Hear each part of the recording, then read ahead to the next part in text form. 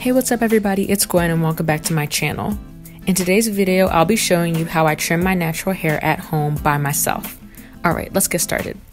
So to start off, let's discuss the signs that you might see if you need a trim. First, no matter how much you moisturize your hair, your hair will still be dry. Next, your ends may not curl like they usually do. So you'll want to start this off on dry, stretched hair. I start by dividing my hair down the center. Then from each side, I take a section from the bottom of my head. Then I moisturize the section. I use a moisturizing spray with my LCO product, and I just use a little bit of that. Uh, you don't want your hair to revert, you want to stay stretched. So I use a little bit of that, and then I finger detangle because I don't like how combs cause so much breakage, so I finger detangle only. And then I ended up taking a smaller section from that section. And so I just run my fingers down the length of the hair so I already cut one side, which is my right side, and I just trimmed off where the split ends begin. So using that side as a guide, I slid my fingers down both ends and I saw where the guide side ended. And that will show me where to cut the other side.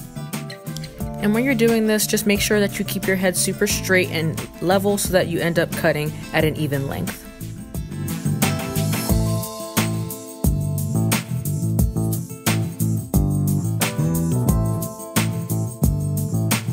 Next, I pretty much use the same steps. I take a new section, moisturize that section, and using the guide side, I cut the hair to the appropriate length.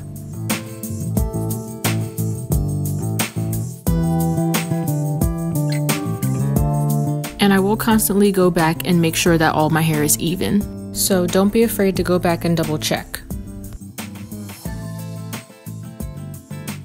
Also, I know this isn't going to be a perfectly even cut, but I think I got pretty close. So my natural hair journey started off as a very bad executed mini chop, so my hair is really uneven. Uh, when I get to a piece of hair that is uneven, I either do two things. If the ends really aren't that damaged, I'll just leave it or maybe I'll dust it. Uh, dusting is just cutting off about a quarter of an inch just to remove the split end before it progresses to a worse split. Or the other option I will do is to create a new guide strand. This is what I do in the crown of my head, especially because this is where it's the shortest. So if the ends are so short that I would have to literally cut so much, I just make sure that I make a second guide strand, especially for the crown of my head to guide my shorter strands up top. When I get toward the front of my hair, I'll make the part that I like to wear, which is a side part, and then on the front, rather than holding the shears horizontally, when I cut, I move it to the side to create a swoop action in front of my hair to look like a side bang. I like to do this because it helps to frame my face with my hair and it won't look too choppy up front.